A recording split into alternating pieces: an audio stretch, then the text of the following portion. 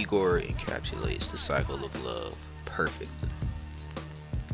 For those who don't know, Igor is an album about Tyler and the process of being in love and loving hard. It's explained so perfectly, man. Igor's theme sets the album off, providing you with the baseline of sound you should expect to see in the album. I remember you telling me that the first song was going to be an instrumental, Mm-hmm. and you had always had it as an instrumental, and then you kind of came up with a hook last minute. Ride around town and go feel this one. And when? How did the hook come about? I was with Uzi, Lil Uzi Vert, was just at the studio hanging. I'm working on this, and I couldn't come up with words, but I had this melody. So I'm in there playing on the piano, the melody. And then he takes that melody and just adds words and sings it right. And I'm like, just add it real quick. Just lay that ref down for me because your voice sounds good doing it. And that's the song. Three, two, and one.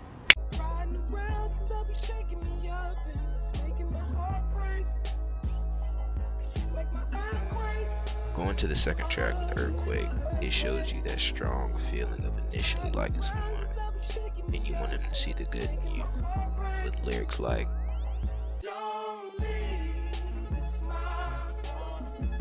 on the chorus, when likely he didn't even do anything wrong, more so a yearning for love. I think is a pretty self-explanatory song. Tyler thinks he's falling in love. Tyler makes a slight mention of past relationships not working or them not being the one. He also shows he's a bit weary of what may come next with the lines.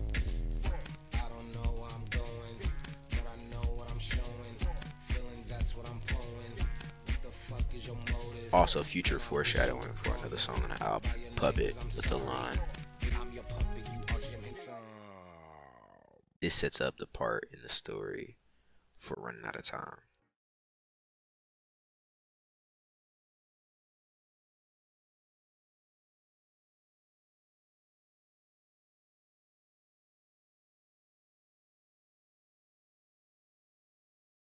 Running out of time is like a weird talking stage in a relationship where you think it's one sided and you want them to love you. You feel like you're running out of time, if you will, to express your feelings before they leave or before the relationship falls apart. Even though exaggeration, Tyler says,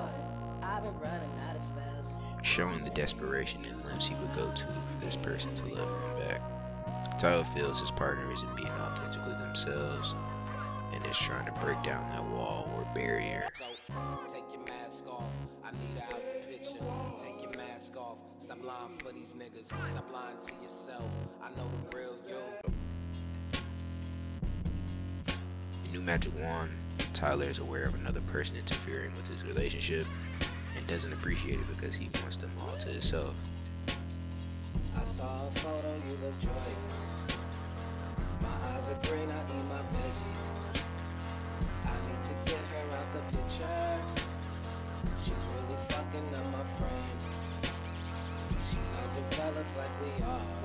Tyler really wants her gone. He exaggerates killing her with the line.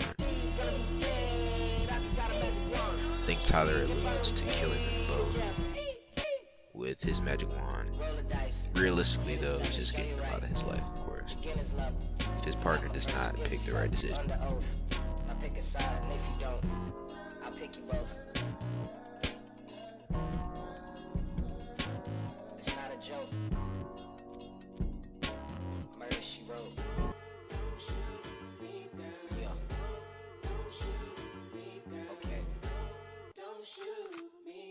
Boy Is a Gun is my favorite track on the album. I think it's one of the songs where Tyler is very subtly vulnerable about his feelings with this person. How I interpret the metaphor of the boy as a gun is when Tyler's partner does things that hurts him. It's comparable to a gunshot. This is just an artistic and exaggerated way of saying that, which I love. The second verse shows his complications with his partner and conflicted on what he should do going forward.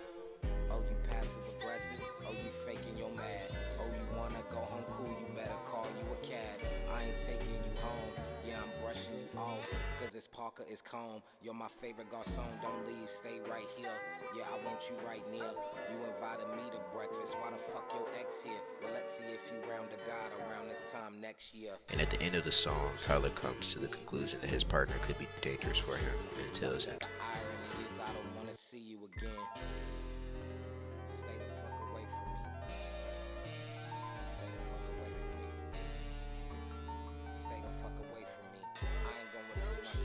the fuck away from me. Ayo. At the beginning of Puppet, call you and talk. I Tyler starts by wanting to talk things out with his partner. to your city 'cause we live in our park. Land at your driveway and put it in park. Then do the third line of this verse. Partner is so important to we pack up Tyler that he's up the there party to the sun. with- Got that's all I want, other than air, oxygen and financial freedom. Yeah, I want your company. I need your company. I want you to want for me. I can maneuver without you next to me. Tyler really just wants this relationship to work. He would do anything to make sure. I absolutely love the chorus of the song. The disdain in Tyler's voice makes it really sound like he's being controlled. You can hear how draining the relationship is. It's a bit dark and gloomy. It reminds me of Obito holding ring covered in blood.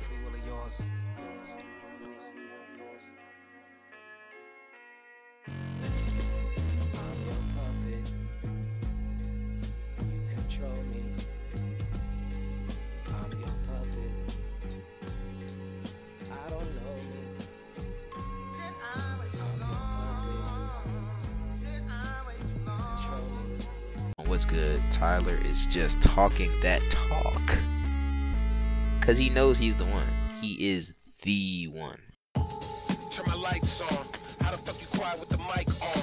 I don't get anxiety, you Bowie ass niggas. I just get my mic on. Y'all said I wouldn't go nowhere. I took the detour. When you see the sun on the crack right by the seashore. When you see them brand new leak floors on leak floor. If the cop says my name, bitch, I'm. Gone, gone, thank you. First half, gone, gone, is Tyler's acceptance. of The situation he is finally starting to let go of love, interest. Not yet moved on, but just accepting and realizing the situation. In fact, he is happy it happened and is trying to take it as a lesson.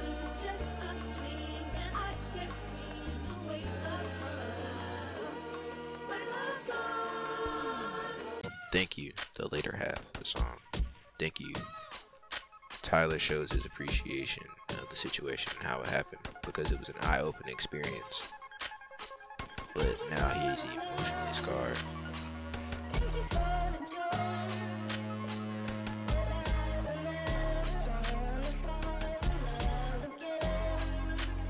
I Don't Love You Anymore is quite self explanatory. Tyler is finally let go. Let go of the person and the attachment.